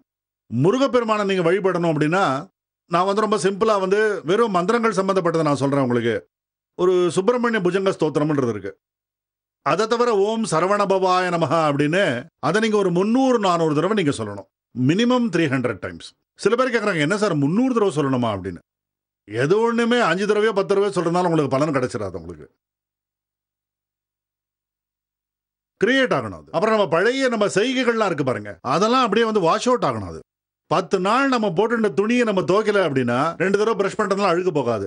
நல்லா தேய்ச்சி துவைச்சி அதை வந்து அடித்து அழுக்கு நிற்கணும் ஸோ இதே விதமாக என்ன ஆகுதுன்னா இன்னொரு விசித்திரமான ஒரு கஷ்டம் என்ன அப்படின்னா இது வந்து நடந்துக்கிட்டு இருக்கிறது தான் நான் உங்களுக்கு சொல்லிக்கிட்டு இருக்கேன். ஒரு ஃபேமிலியில் ஒரு பொண்ணு வந்து அந்த பொண்ணுக்கு வந்து பதினோரு வயசு. ரொம்ப அழகா இருந்தா அவ பார்க்கறதுக்கு அவ கிளாஸ்ல அவள் ரொம்ப நல்லா படிச்சுக்கிட்டு இருந்தா எல்லாம் இருந்தது அவளுக்கு. சடனா வந்து அப்படியே ஒல்லியாக ஆரம்பிச்சிட்டா. ஒரு அஞ்சு கேஜி பத்து கேஜி அளவு குறைஞ்சிட்டா. டாக்டர்ஸ்ட்டு போய் காமிச்சாங்க. இல்லை எல்லாம் சரியாக தான் இருக்குது ஒரு ப்ராப்ளம் இல்லைன்னாங்க. சரியாகவே சாப்பிட மாட்டேங்கிறா இவ அப்படின்னு. கடைசியில் அந்த பொண்ணை கேட்ட பொழுது அந்த எங்கிட்ட கூட்டு வந்தாங்க. நான் கேட்டேன் அந்த பொண்ணை என்னம்மா என்ன உனக்கு இது பிரச்சனை? அப்படின்னு கேட்டேன். அது ஜாதகத்தை கூட நான் பார்க்கல. அவன் என்ன சொன்னா தெரியுமா? பாருங்க அங்கிள் நான் கல்யாணம் பண்ணிக்கணும்னு ஆசைப்படுறேன். எங்கள் அப்பா அம்மா அப்போ கல்யாணம் பண்ணி வைக்க மாட்டேங்கிறாங்க. எனக்கு ரொம்ப மனசு கஷ்டமாக இருக்கு. நான் டிப்ரெஷன்ல இருக்கேன் அப்படிங்கிறான். பதினோரு வயசு பொண்ணு. அவங்க அப்பா அம்மாவுக்கு வந்து எப்படிப்பட்ட ஒரு சங்கடமாக இருக்கும் அவங்களுக்கு பாருங்க. இதெல்லாம். தினந்தோறும் அவ அப்புறம் கண்டிஷன் போட்டான் அவன். என்னை கல்யாணம் பண்ணி வச்சதான் நான் வந்து சாப்பிடுவேன் நான். எங்கேருந்து பையனை தேடுவீங்க? பதினோரு வயசு பொண்ணுக்கு. அதனால் கடைசியில் அவள் இப்படியே ஒல்லியாகி இன்னைக்கு அந்த பொண்ணுக்கு இருபத்தேழு வயசாச்சு இன்னும் அவளுக்கு கல்யாணம் ஆகல. எதுக்காக அப்படின்னா அவ சொல்றா நான் பதினோரு வயசுல கல்யாணம் பண்ணி கொடுங்கன்னு சொன்னேன் நீங்க மாட்டேனீங்க அதனால தான் இது வரைக்கும் ஆல அப்படின்னு. இப்ப அவங்க அப்பா அம்மா வந்து அவ்வளவு வருஷமா அவங்க கஷ்டப்பட்டு கஷ்டப்பட்டு அவங்க இப்படி மெரிஞ்சிட்டாங்க. இது ஒரு மாதிரி விசித்திரமான கஷ்டம் இல்லையா? இது என்ன ஒரு பகவான் எல்லாத்தையும் கொடுப்பான் ஏதோ ஒரு சின்ன கஷ்டத்தை பக்கத்துலயே வைப்பாங்கிற மாதிரி இப்ப அவங்க அப்பா என்ன பண்றாங்க? பிசினஸ் எல்லாத்தையும் விட்டுட்டு பணவரவு எதுவும் இல்லாம சொந்த வீட்டையும் அவங்க வித்துட்டு ஏதோ ஒரு ரொம்பவே லோயர் ஏரியாவுக்கு வந்து சின்னதாக ஒரு ஷெட் வீட்டில் வந்து அவங்க வாடகைக்கு இருக்காங்க. அவ்வளோ நல்லா இருந்தவங்க. எதுக்குன்னா இந்த மாதிரி பிரச்சனைகள். அப்புறமா அவளுக்கு இப்போ வயசு வந்து அந்த பொண்ணுக்கு இருபத்தி ஆறோ இருபத்தி ஏழோ அப்பாவுக்கு வந்து ஒரு அறுபது வயசா இருக்கணும்ப்பா அறுபதோ அறுபத்தி ரெண்டோ இருக்கணும். தொண்ணூறு வயசு ஆன மாதிரி இருக்கார் அவர். சரியா நடக்க முடியாது அவரால். கஷ்டமே மனுஷனை பலவீனப்படுத்திடும். பட் uh, அப்ப வந்து அவர் இருக்கும்போது நான் வந்து சொல்றது வந்து ஒரு ஒரு ஒரு பதிமூணு பதினாலு வருஷத்துக்கு முன்னாடி இருக்கும் பொழுது நான் சில பரிகாரங்களை சொன்னேன் அவருக்கு. அப்போ அவங்க ரொம்ப உயர்ந்த ஒரு நிலையில ஃபினான்ஷியலாக ரொம்ப நல்லா இருந்தாங்க அவங்க. ஹை சொசைட்டி அந்த பொண்ணுடைய அம்மாவும் கொஞ்சம் இப்படி லேடிஸ் கிளப் இந்த கிட்டி பார்ட்டி அப்படிலாம் போகிறவங்க அவங்க. அவங்க வந்து இது இதெல்லாம் யார் பண்ணுவாங்க அப்படின்னு அவங்க அலட்சியப்படுத்திட்டாங்க அவங்க. இப்போ வந்து அதை அனுபவிக்கிறாங்க. அதனால நாம வந்து யுத்த காலே சஸ்திரபியாசம் நம்ம பண்ண முடியாது. இந்த மாதிரி தோஷங்கள் இருக்கும் பொழுது யாராவது பெரியவங்க சில யோசனைகள் சொன்னாங்கன்னா அது வந்து நீங்க கொஞ்சம் கேட்கணும். சரிப்படுத்துற நிலைமையில இருந்தது அது. இப்போ வந்து பியாண்ட் டேமேஜ் ஆயிடுது. அது சரிப்படுத்த முடியாது அது இவங்க ஜாதகத்துல அப்பாவோட ஜாதகத்துல புத்திரஸ்தானத்துல செவ்வாய் ராகு மற்றும் சூரியன் இருக்கான் அஞ்சாம் இடத்துல. அப்புறம் குரு வந்து பாத்தீங்கன்னா விரயஸ்தானத்துல ராசி சந்தின்னு சொல்றது உண்டு. அதாவது ஒரு ராசிக்கு முப்பது டிகிரி இருக்கு. ஒரு டிகிரிக்கு உள்ள இருந்தா அல்லது 29 டிகிரிக்கு மேல இருந்தா பீடியான்னு சம்ஸ்கிருதத்துல சொல்றாங்க. நோ ஸ்ட்ரென்த் அப்படிங்கிற அதாவது மலை சிகரத்துல போய் நிக்கிற மாதிரி அது. அப்படிப்பட்டவங்களுக்கு என்ன சொல்றோம்னா அப்கோர்ஸ் டெக்னிக்கலா இது வந்து சரிப்படுத்துற நிலைமை தான் சொல்லலாம். செவ்வாயோட ராகுவோட தொடர்புடைய சில சர்ப்பதோஷம் சொல்றோம். நான் வந்து ஹோமம் அது இதுன்னு சஜஸ்ட் பண்றது இல்ல வேறு விதமான சில பரிகாரங்கள்லாம் இருக்கு. அப்புறம் குருவுடைய பலத்தை பெறுறதுக்கு குரு மந்திர ஜபம் பண்ணுங்க அப்படின்னு ரெண்டு பேர்ட்டையும் சொன்னேன். குருவுடையது ஒரு பீஜ மந்திரம் இருக்கு. ஓம் கிராம் கிரீம் கிரௌம் சஹ குரவே நமஹா அப்படின்னு வரும் அது. அதை வந்து நீங்க முந்நூறு முந்நூறு தடவை சொல்லுங்க அப்படின்னு அவங்களுக்கு சொல்லி கொடுத்தேன். அவங்களுக்கு பேஷன்ஸே இல்லை. த்ரீ ஹண்ட்ரட் டைம்ஸ் எங்களுக்கு டைமே இல்லை. இப்போ நீங்க வந்து என்ன பண்ண முடியும்? எல்லா காரியமும் கெட்டு போச்சு. பட் எவ்வளோ வருஷங்களா அந்த பெற்றோர்கள் கஷ்டப்பட்டுக்கிட்டு இருக்காங்க? ஸோ ஜாதகத்தில் அந்த மாதிரி இருக்கும்பொழுது என்ன ஆகுது அப்படின்னா? அது நம்ம சரி பண்ணிக்கிறதுக்கும் விடாது இல்லையா? இல்ல சரிப்படுத்த முடியாது அது. அது விடுறது இல்ல இதெல்லாம் பார்க்கும் பொழுது சங்கடம் தான் மிஞ்சும் அதுல.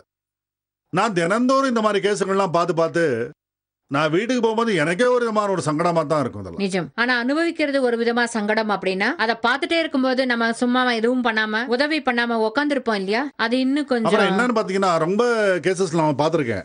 அந்த டயத்துல வந்து நம்ம சரியா அந்த பரிகாரங்கள்லாம் சேர்த்து நம்ம ஆரம்பிச்சோம்னா நல்ல எளிமையா இருக்கிற பரிகாரங்களை செஞ்சோம்னா கண்டிப்பா இதுக்கான விடை கிடைச்சிரும். இப்ப இந்த பொண்ணு விஷயத்துல நீங்க பாத்தீங்கன்னா நான் சிம்பிளா நான் சொன்னேன். இப்படிப்பட்ட திதி இப்படிப்பட்ட நட்சத்திரத்தன்னைக்கு ஒரு மந்திரோபதேசம் பண்ற அந்த பொண்ணுக்கு. நீங்க அப்பா அம்மா ரெண்டு பேரும் தினந்தோறும் பக்கத்துல உட்காந்துட்டு சொல்ல வைங்க அந்த மந்திரத்தை. அவ இஷ்டப்பட்டு செய்யறாளோ இஷ்டம் இல்லாத செய்யறாளோ that's a different thing but ஆறு. மாசம் நீங்க பண்ணீங்கன்னா அவருடைய மனநிலையே மாறிடும் அப்படின்னு நான் சொன்னேன் அவங்களுக்கு அப்புறம் இன்னொன்னு நான் என்ன சொன்னேன்னா ஒரு சில மூச்சு பயிற்சி. பிரீதிங் டெக்னிக்ஸ் இதெல்லாம் இருக்கு. அது சொல்லித்தரேன் அதை செஞ்சுட்டு வாங்க அப்படின்னு சொன்னேன். இன்னொன்னு என்னன்னா சுஷ்ருத சம்ஹீதையில் என்ன சொல்றாங்க அப்படின்னா இந்த மாதிரி அடம் பிடிக்கிற குழந்தைகள்லாம் இருக்காங்க பாருங்க. அவங்க ஒரு மாதிரி உங்க கண்ட்ரோலுக்குள்ள அவங்க வரணும் அப்படின்னா ராத்திரி சாப்பாட்டுக்கு அப்புறம் வெள்ளி டம்ளர்ல வந்து இளஞ்சூடா இருக்கிற வந்து பால்ல ஒரு அரை ஸ்பூன் அளவுக்கு தேன் அப்புறம் நாலு டிராப் வந்து நெய் இதை போட்டு கலந்து ஒரு சிட்டிகை மஞ்சப்பொடியும் போட்டு கலந்து கொடுத்துருங்க நீங்க. அது ஆனதுக்கப்புறம் இன்னொன்று என்ன சொல்றாங்கன்னா நான்கு பாதாம் மற்றும் நான்கு உலர்ந்த திராட்சை அதை நல்லா மென்று சாப்பிடணும் அவங்க. நாற்பத்தஞ்சு நாள் அவங்க இப்படியே பண்ணாங்கன்னா அவங்க புத்தி கெட்ட புத்தி நல்ல புத்தி ஆகும் அப்படிங்கிறாங்க. இது நூல்கள்ல சொல்லப்பட்டிருக்கு. நான் இந்த டெக்னிக் பத்தி எத்தனையோ பேருக்கு நான் சஜஸ்ட் பண்ணியிருக்கேன் நான். ரொம்ப அற்புதமான ஒரு சில பலன்கள்லாம் கிடைச்சிருக்கு. பாருங்க இதெல்லாம் ரொம்ப சுலபமா செய்யக்கூடிய சில பரிகாரங்கள். பண்ணக்கூடிய ஒரு பரிகாரங்கள். இப்ப பாலக்குடி தேனி நெய்யும் விட்டுக்கிட்டு அப்படின்னா அதுல கஷ்டமே இல்ல பாருங்க. ஆமா ஆமா. என்ன கேட்டீங்கன்னா இந்த மாதிரி பரிகாரங்கள் யாராவது சொல்ல மாட்டான்னு காத்துக்கிட்டு இருக்கேன் நான். உடனேயே பண்ணிடுவோம். ஏன்னா அதனோட அனுபவத்தை நீங்க பாத்திருப்பீங்க தெரிஞ்சிருக்கிறதுனால அதன் மதிப்பு தெரிஞ்சிருக்கிறதுனால இமீடியட்டா பண்ணிடுவோம். ருசிகரமாக இருக்கக்கூடிய ஒரு பரிகாரம். நிஜம். கஷ்டப்பட்டு பண்ண வேண்டியது இல்ல. அது கூடவே என்ன ஆகுது அப்படின்னா இந்த வாஸ்து தொடர்புடைய இதுக்கு மாதிரி நாம கண்டிப்பா இதை வந்து சீரியஸா நம்ம எடுத்துட்டே ஆகணும். சில பேர் எங்கிட்ட சொல்றாங்க பாருங்க சார் நாங்கள் வந்து வாடகை வீட்டில் இருக்கோம். அங்கே எதையுமே நாங்கள் வந்து சேஞ்ச் பண்ண முடியாது. ஒரு ஆணி அடிக்கிறதுனாலும் அது முடியாது எங்களால் அப்படிங்கிறாங்க. அப்படிப்பட்டதுக்கும் பரிகாரம் இங்கே கிடைக்குது. அவங்க எதுவும் சுவத்தை குவத்தை உடைக்காம ஆணி எதுவும் அடிக்காம அங்கேயும் சரி பண்ணலாம். ஃபார் எக்ஸாம்பிள் இப்போ வாயுமொழியில தோஷம் இருந்ததுன்னா அந்த வீட்டு குழந்தைகள் சரியா இருக்க மாட்டாங்க அப்படின்னு ஒரு நம்மிடம் ஒரு நம்பிக்கை. அந்த மாதிரிலாம் சிலது ஏற்படும். அப்போ நம்ம என்ன பண்ணுறோம் அப்படின்னா உங்களுக்கு அது ஆகலை அப்படின்னா ஒரு பண்டிதர் யாராவது கூப்பிட்டு மூணு மாதத்துக்கு வந்து தினந்தோறும் மத்தியான நேரத்துல அதாவது சூரியன் உச்சிக்கு வரும்பொழுது வாயு சுக்தம் வாயு மூலையில வந்து ஒரு பலகாயை போட்டு உட்காந்து சொல்ல சொல்லுங்க அந்த சவுண்ட் வைப்ரேஷன் இதெல்லாம் சேஞ்ச் பண்ணும் அப்படின்னு நாங்க சொல்றோம். ட்ரை பண்ணியே பாக்குறது இல்லையே? முயற்சி பண்ணி பார்த்தா தானே எதுவும் தெரியும். கொஞ்சம் கஷ்டம் ஆகும் அந்த கஷ்டத்தை எடுத்துக்கிட்டாதான் என்கிட்ட வந்து ஒரு சில பேர் என்னைய டெஸ்ட் பண்றதுக்கு ஒரு சில கேள்வி கேட்கறாங்க இப்ப அமெரிக்கால யாரும் வாயு சுத்தம் சொல்றது இல்ல அவங்க வீட்டுல வாயு மூலையில தோஷம் இருந்தா இந்த மாதிரிலாம் நடக்கிறது இல்லையே? அது ஏன் அப்படின்னு கேக்குறாங்க. நான் அவங்கள ஒரே ஒரு கேள்வி கேட்கறேன் அவங்கள்ட்ட கேட்டேன். ஒருத்தர் என்கிட்ட கேட்ட போது நான் சொன்னேன் நான். நீங்க அமெரிக்கால வாயு மூலையில தோஷம் இருக்கிற எத்தனை வீட்டை வந்து நீங்க பாத்திருக்கீங்கன்னு அங்க கூட பாப்பாங்களா அந்த வாஸ்துவ? பாக்குறாங்க நான் யுஎஸ்ஏ கூட எத்தனையோ வாஸ்து விஷயமா நான் போயிருக்கேன் நான். அப்புறம் அங்க இருக்கிறவங்க வந்து ஃபாரினர்ஸும் நம்ம இதை ஃபாலோ பண்றாங்க. இப்பெல்லாம் அதிகமா அவங்க ஃபாலோ பண்ணிக்கிட்டே வராங்க நாம விட்டுக்கிட்டே வரோம் அவ்வளவுதான். என்ன பண்றது? இதுல வந்து எத்தனையோ வியாதிகள் சிலது வரும்பொழுது காம்ப்ளிகேட்டட் சர்ஜரின்னு எல்லாம் வரும்பொழுது இங்கேயே இங்க பெங்களூர்லயே எத்தனையோ சர்ஜன்ஸ் என்னுடைய சஜஷனையும் கேட்குறாங்க இந்த மாதிரி ஒரு காம்ப்ளிகேட்டட் சர்ஜரி ஒன்று பண்ணணும் சார் இது நாங்க செய்யலாமா அப்படின்னு கேட்குறாங்க ஆமா. ஏன்னா அந்த மாதிரி இதுலயும் நான் கொஞ்சம் கொஞ்சம் ரிசர்ச் பண்ணி வச்சிருக்கேன் நான். அதனால தான் சில கஷ்டங்கள் வரும்பொழுது அந்த கஷ்டங்களை வாழ்க்கை முழுக்க அனுபவிக்கணும் அப்படிங்கிறது இல்ல. கொஞ்சம் சிலது வந்து நம்ம கையிலயும் இருக்கு. அந்த கஷ்டங்கள்லாம் போக்கடிச்சுக்கணுங்கிறதுல வந்து யார் ரொம்ப சீரியஸா இருக்காங்களோ வேற எதையும் செய்ய முடியாட்டாலும் நான் வந்து நீங்க பாசிட்டிவா நீங்க திங்க் பண்ணுங்க. உங்க மனசுக்குள்ள பாசிட்டிவ் தாட்ஸை வந்து அப்படியே பம்ப் பண்ணுங்கன்னு நான் சொல்றேன். ஏன்னா ஒரு விஷயம் ஜனங்களுக்கு அவ்வளவா தெரியாதது என்னன்னா நீங்க மனசுக்குள்ள வந்து ஒரு எண்ணத்தை வந்து திரும்ப திரும்ப அதையே நினைச்சுக்கிட்டு இருந்தீங்கன்னா அது ஒரு நாளைக்கு அது நிஜமாயிடும் அது. கண்டிப்பா. அதனால தான் என்ன சொல்றாங்க? Every indelible impression can one day become reality அப்படின்னு. Every indelible impression on the brain can one day become reality அப்படின்னு ப்ரூஃப் இருக்கு. அத சயின்டிபிக்கலி நம்ம தர்மத்தின்படி அஸ்து தேவதைகள் இருப்பாங்க. நல்லதே சொல்லிட்டுருங்க. அஸ்து அஸ்துன்னு சொல்லுவாங்க. நல்லதே நம்ம கஷ்டங்களை நம்ம விலக்கிக்கணும்னா அதுக்கான மனசு நமக்கு இருக்கணும் முதல்ல. அப்படியே நீங்க ஆரம்பத்துல சொன்ன மாதிரி நம்பிக்கை இருக்கணும். நம்பிக்கை இருந்தால் மட்டுமே இப்ப சில பேர் பாருங்க சில பேர்ட்ட வந்து இந்த மாதிரிலாம் சஜஸ்ட் பண்ணாங்கன்னா அவங்க என்ன சொல்றாங்க அப்படின்னா கன்சல்டேஷனுக்கு வராங்க. வந்துட்டு இருக்கட்டும் சார் இதெல்லாம் கொஞ்சம் பழக்கம் வேணும் அப்படிங்கிறாங்க. இன்னும் சில பேர் அதை சோதிச்சு பாக்குறதுக்காக அதை போய் பண்ணியிருப்பாங்க. அவங்களுக்கு அதுக்கு அது மேல நம்பிக்கை இருக்காது. அது நிச்சயமா ஆகணும் அப்படிங்கிற ஒரு திடமான மனசு இருக்காது. நீங்க சொன்னதை சோதிச்சு பாக்குறதுங்கிறதுக்காக போயிருப்பாங்க. அதே மனசோட போகும்போது எதுவுமே பாருங்க யாரோ ஒருத்தர் ஒரு ஒரு வேடிக்கையா இருக்கக்கூடிய ஒரு சம்பவம் நடந்தது. யாரோ ஒருத்தர் வந்து ஒரு ஜோசியர்கிட்ட போனார் அவர். போயிட்டு ஒரு ஜோசியரை நான் இருபது வருஷமா ரொம்பவே நான் அனுபவிச்சிட்டேன் நான். இது என்ன இது கஷ்டம்? நான் வாழ்நாள் முழுக்க நான் அனுபவிக்கணுமா? அப்படின்னதுக்கு அது இன்னும் மூணே நாள் அப்படின்னாரு. அதுக்கப்புறமா அதுக்கப்புறம் அதே பழக்கமா போயிடும்னாராம். அந்த மாதிரி நீங்க வந்து பழக்கப்படுத்திக்கிட்டாலும் வந்து கஷ்டம் கஷ்டம் தான் உங்களுக்கு அது. பட் எத்தனையோ விதங்கள் வந்து நான் உங்களுக்கு சொன்னேன் பாருங்க. அந்த ஸ்மெல் சம்பந்தப்பட்ட ஒரு சில கஷ்டம் அப்படின்னு. அதெல்லாம் வந்து தாங்கவே முடியாத சில கஷ்டங்கள். அதெல்லாம் வந்து நம்ம வந்து அலட்சியப்படுத்த முடியாது. இப்ப டாக்டர்கிட்ட போறத போட்டு அவங்க இஷ்டம் அது. அங்க போனாலும் ஒண்ணுக்கு ஒரு பத்து சொல்லி அனுப்புவாங்க. எதை நம்புவீங்க எதை விடுவீங்க? அதனால தெய்வீகத்துல நீங்க பண்ணீங்கன்னா அதுக்கு கெட்ட விளைவுகள்ங்கிறது மட்டும் கண்டிப்பாவே இருக்காது. நிஜம்தான் நிஜம்தான். இப்ப ஃபார் எக்ஸாம்பிள் இந்த மாதிரி இந்த நுகரம் இது சக்தி வாசனை தொடர்பானது அது ஒரு வீக்னஸ் அப்படின்னு ஜெனரல் ஒரு நம்பிக்கை உண்டு. ஜோதிடத்துல நரம்புகளை வந்து புதன் குறிக்கிறான். ஸோ புதன் தொடர்பா ஒரு சில பரிகாரங்களை வந்து நீங்க பண்ணிக்கிட்டீங்கன்னா அது உங்களுக்கு ஃபிட்ஸா இருக்கலாம் சீஷஸா இருக்கலாம் மைக்ரைன் ஹெட்டேக்கா இருக்கலாம் இல்ல நம்முடைய ஃபேக்கல்டிஸ் அதாவது காது மூக்கு சரியா வேலை பண்ணாத நிலை அது இருக்கும் இல்லையா? அதுக்கு ரிலீஃப் கிடைக்கிறது அதுக்கு. நிஜம்தான் இப்ப நம்ம முன்னோர்கள் எந்த அளவுக்கு முன்னேறி இருந்தாங்க அப்படின்னா எந்தெந்த கிரகங்கள் எதை குறிக்கிறது அப்படின்னு சிம்பிளா சொல்லணும் அப்படின்னா இப்ப வந்து இப்ப அஷ்டோத்திரங்கள் வருது பாருங்க நவகிரக. அதுல கேதுக்கு என்ன சொல்றாங்கன்னா ஒரு மந்திரம் ஓம் ஸ்போட்டகாரகாய நமஹா அப்படின்னு சொல்றோம். ஸ்போட்டனா எக்ஸ்ப்ளோஷன் அர்த்தம். நான் என்னோட ப்ரோக்ராம்ஸ்ல ஸ்பஷ்டமா என்ன சொல்றேன் அப்படின்னா ஏதோ ஒரு ஒரு முகூர்த்தத்துல செவ்வாய் மற்றும் கேது வந்து கூட இருந்தானா? எக்ஸ்ப்ளோஷன் ஆகும் அப்படிங்கிற. அந்த விதமாக சில ட்ரெயின் ஆக்சிடென்ட்ஸ்லாம் நான் ப்ரெடிக்ட் பண்ணியிருக்கேன் இப்போ மிதுனத்தில் செவ்வாயும் கேதுவும் சேர்ந்தா எப்போ வேணால் சேரட்டும். அந்த விதத்தில் ட்ரெயின் ஆக்சிடென்ட்ஸ் இருக்க சாத்தியங்கள் இருக்கலாம் எக்ஸ்ப்ளோஷன்ஸ் ஆகலாம். அந்த நேரத்தில் ஏதாவது பிளெயின் டேக் ஆஃப் ஆச்சுன்னா எக்ஸ்ப்ளோட் ஆகக்கூடிய சாத்தியங்கள் இருக்கலாம். இண்டிவிஜுவல் ஜாதகத்தில் மிதுனத்தில் வந்து கேதுவும் செவ்வாயும் ஒன்றா சேர்ந்தா என்ன ஆகும்னா அவங்களுக்கு இந்த கை மற்றும் கழுத்து பாகத்தில் எப்போவுமே அந்த ஒரு எக்ஸ்ப்ளோர்ட் ஆன மாதிரி ஒரு ஃபீலிங் இருக்கும். ஒரு ஒரு வெடிக்கிற மாதிரி இருக்கும் அவனுக்கு. அதே மாதிரி தான் நம்ம மந்திரங்கள்லாம் இருக்கு பாருங்க. நம்ம வேத மந்திரங்கள். அதுலேயும் ரொம்ப ஸ்பெசிஃபிக்காகவும் சயின்டிஃபிக்காகவும் சொல்லிருக்காங்க. சந்திரமா மனசோ ஜாதகா சக்ஷோ சூரியோ அஜாயதா முகாஷ்ட இந்திரஷ்ட அக்னிஷ்ட பிராணோ வாயு ரஜாயதா அப்படின்னு ரொ- ரொம்பவே ஸ்பஷ்டமாக சொல்லிருக்காங்க. அதனால தான் இப்போவும் எத்தனையோ டாக்டர்ஸ் எல்லாம் ரொம்பவே இன்ட்ரெஸ்ட் எடுத்துக்கிட்டு அதில் ரிசர்ச் வந்து அவங்களும் பண்ணிருக்காங்க. கண்டிப்பாக குருகளே. நம்ம ஹிந்து தர்மத்திலும் கூட மாத்ரு தேவோ பவா பித்ரு தேவோ பவா ஆச்சாரிய தேவோ பவா அப்படின்னு அம்மா அப்பா குருகளுக்கு எதுக்காக ஒரு முக்கியமான இடத்த கொடுத்திருக்காங்க அப்படின்னாக்க ஒரு குழந்தை வழி மாறி போகும்போது அந்த குழந்தை கைய பிடிச்சு மீண்டும் அவளை சரியான பாதைக்கு அழைச்சிட்டு வரக்கூடியவங்க இந்த மூணு பேர் தான் அதே மாதிரி நம்ம தெரிஞ்சோ தெரியாமலோ என்னென்னவோ தவறுகளை பண்ணிருப்போம். அந்த தவறுகளை எந்த மாதிரி திருத்தி அமைச்சுக்கணும்? எந்த மாதிரி சரியான பாதையில போகணும்? பகவான்கிட்டேந்து முக்தியை பெறுவதற்கு எந்த பாதையை ஃபாலோ பண்ணணும்? அப்படிங்கறத பத்தி நிறைய தகவல்களை இன்றைய பகுதியிலும் கொடுத்தீங்க குருகளே. ரொம்ப ரொம்ப நன்றி. ரொம்ப நன்றிமா ஒரு சின்ன குழந்தை அம்மான்னு கூப்பிட்ட உடனேயே அந்த அம்மா ஓடோடி வந்து அந்த குழந்தைய தூக்கி எடுத்து கொஞ்சுவா. அப்படி இருக்கும்போது நாம கூட பகவான பக்தியோட பரமாத்மா அப்படிங்கும் போது அந்த பரமாத்மா கூட ஓடோடி வந்து நம்மள காப்பாற்றுவான். அப்படிங்கும்போது நாம செய்யக்கூடிய ஒவ்வொன்றும் அந்த கடவுளுக்கு நிச்சயம் தெரியும். ஒரு சின்ன எறும்போட கால்ல சலங்கையை கட்டி அந்த எறும்பு டான்ஸ் ஆடும்போது அந்த சலங்கையின் நாதம் கூட கடவுளுக்கு கேட்குமா? இன்னும் நாம செய்யக்கூடிய பெரிய பெரிய பாவ கர்மங்கள் கடவுளுக்கு தெரியாம இருக்குமா? ஒவ்வொன்னுக்கும் அந்த கடவுள் தான் மூலாதாரம் அப்படிங்கும்போது அவனையே நம்பி இருக்கலாம்.